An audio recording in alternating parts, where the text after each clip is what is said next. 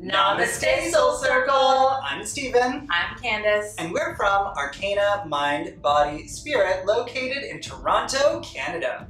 Today we are discussing Danu. So, before we get started, be sure to hit like, subscribe, and that little notification bell to be sure that you don't miss any of our other upcoming videos this month as we dive into the origins and energy streams of prominent female power consciousness from all different pantheons of belief.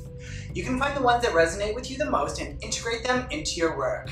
Let's goddess! Let's goddess!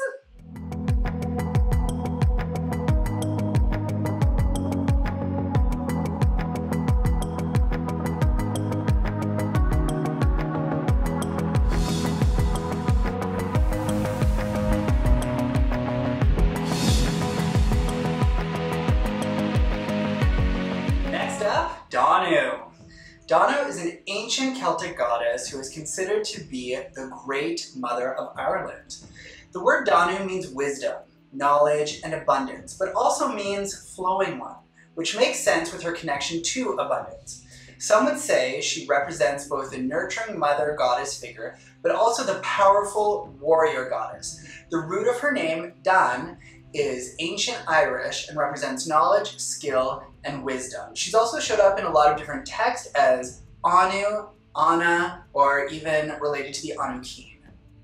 Similar to Gaia, Danu is in correlation to the earth and earthly fertility. Many lands in Ireland are associated with this goddess, such as different farmlands in specifically Kerry, um, and other rivers as well. Unfortunately, many stories of Danu have not survived throughout history. Once again, we can thank the patriarchy for removing strong female legend in history in order to feed the male-driven societal power. Right? The patriarchy has ruined so much over time. It's Yeah. unbelievable how much of history has been taken away. Yeah, and altered and just is yeah. you really have to, exactly right. It's through the voice of something that is only feeding one story. Yeah. Yeah.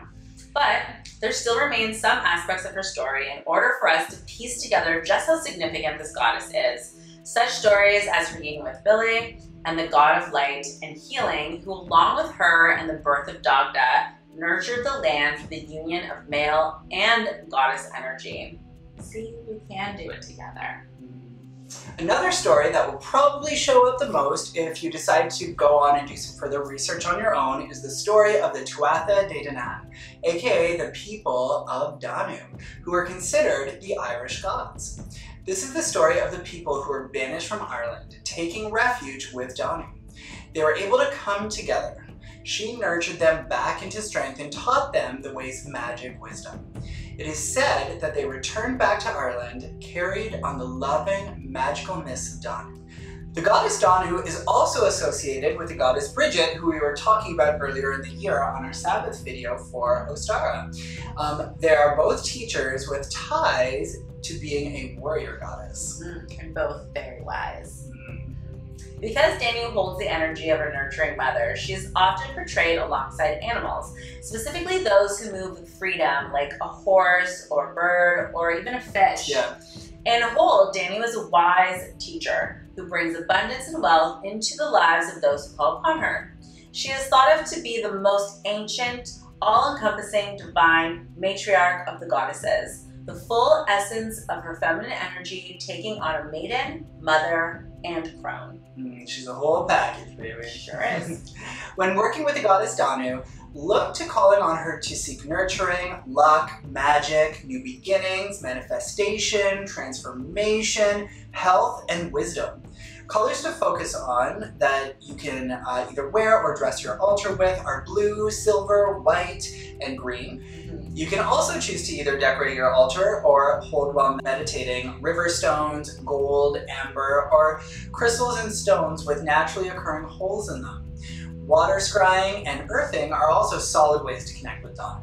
Consider pulling a major arcana card, the Empress, for another focal point for your altar or when you're working with meditation. Scents to work with would be amber uh, or anything else that's related to water. Well, there you have it. I love me some goddess time. I do too. So be sure to comment below and let us know which of these goddesses resonates the most with you. Uh-huh. Who do you identify? And also be sure to go back and look at some of our previous goddess videos. We did our crescent moon goddesses and our new moon goddesses. And I love the content for all of them. Yeah, me too. Really great. So be sure to hit that like and subscribe to our channel so that you can find your way back to us because I'm sure at some point we're definitely going to do some more goddess chit chat. Absolutely. In the meantime, Arcana releases three videos a week. Monday, Wednesday, and Friday. And you can find us live each morning at 9 a.m. Eastern Time on Facebook. So make sure you follow us there. Many blessings, and we will see you next episode. Namaste and much love. Mwah.